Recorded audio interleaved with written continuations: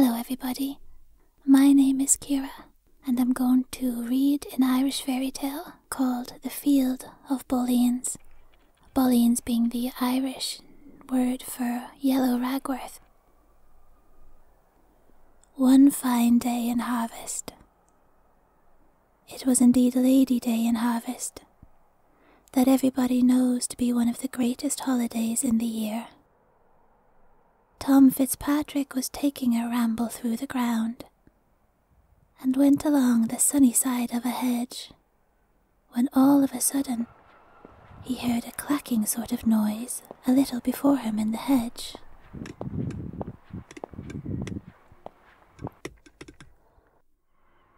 Dear me, said Tom, but isn't it surprising to hear the stone chatters singing so late in the season?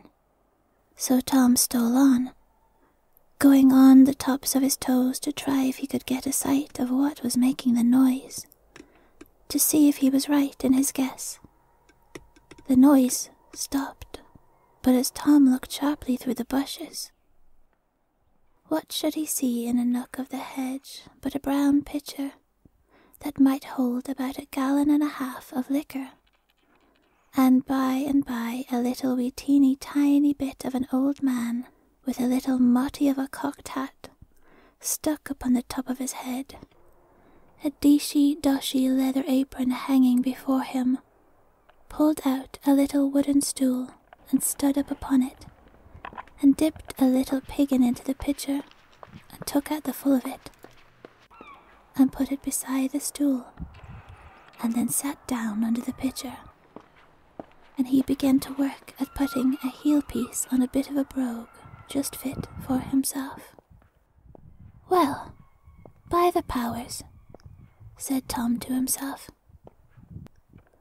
I often heard tell of the leprechauns, and to tell God's truth, I never rightly believed in them. But here's one of them in real earnest. If I go knowingly to work, I'm a made man they say a body must never take their eyes off them, or they'll escape. Tom now stole on a little further, with his eye fixed on the little man just as a cat does with a mouse. So when he got up quite close to him, God bless your work, neighbour, said Tom. The little man raised up his head and, Thank you kindly, said he. I wonder You'd be working on the holiday, said Tom. That's my own business, not yours, was the reply. Well, maybe you'd be civil enough to tell us what you've got in the pitcher there, said Tom. That I will, with pleasure, said he. It's good beer. Beer, said Tom. Thunder and fire. Where did you get it? Where did I get it? is it? Why, I made it. And what do you think I made it of? Devil a one of me knows, said Tom. But of malt, I suppose. What else? There, you're out. I made it out of heath. Of heath, said Tom, bursting out laughing. Sure you don't think me to be such a fool as to believe that. Do as you please, said he. Why, what I tell you is the truth. Did you never hear tell of the Danes? What about them? said Tom. Why, all the about them there is, is that when they were here they taught us to make beer out of the heath, and the secret's in my family ever since then. Will you give a body a taste of your beer? said Tom. I'll tell you what it is, young man. It would be fitter for you to be looking after your father's property than to be bothering decent, quiet people with your foolish questions. There now, while you're idling away your time here, there's the cows have broke into the oats and are knocking the corn all about. Tom was taken so surprised with this that he was just on the very point of turning round when he recollected himself. So, afraid that the like might happen again, he made a grab at the leprechaun and caught him up in his hand, but in his hurry he overset the pitcher and spilt all the beer, so that he could not get a taste of it to tell what sort it was. He then swore that he would kill him if he did not show him where his money was. Tom looked so wicked and so bloody minded that the little man was quite frightened. So says he, Come along with me a couple of fields off, and I'll show you a crock of gold. So they went, and Tom held the leprechaun fast in his hand, and never took his eyes from off him, though they had to cross hedges and ditches and a crooked bit of bog.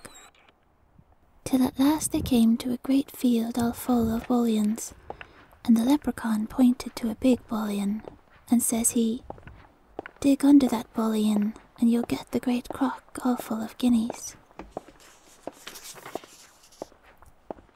Tom, in his hurry, had never thought of bringing a spade with him, so he made up his mind to run home and fetch one, that he might know the place again he took off one of his red garters and tied it round the boliaun. Then he said to the leprechaun, Swear you'll not take that garter away from that boliaun. And the leprechaun swore right away not to touch it. I suppose, said the leprechaun very civilly, you've no further occasion for me. No, says Tom, you may go away now, if you please, and God speed you, and may good luck attend you wherever you go. Well, goodbye to you, Tom Fitzpatrick, said the leprechaun, and much good may it do you when you get it. So Tom ran for dear life till he came home and got a spade, and then away with him as hard as he could go, back to the field of boliauns. And when he got there, lo and behold, not a boliaun in the field but had a red garter, the very model of his own, tied about it. And as to digging up the whole field, that was all nonsense for there were more than forty good Irish acres in it. So Tom came home again with his spade on his shoulder, a little cooler than he went. And many's the hearty curse he gave the leprechaun every time he thought of the neat turn he had served him. Well, that concludes this story. Thank you very much for listening. I will be recording more Irish fairy tales in the future. I would love to hear what you think of this story, so please write a wee note in the comments below, and of course take a moment to click like if you have enjoyed the story. And if you want to keep listening to Irish fairy tales read by me, just click on the video that's coming up on the screen now. Till next time.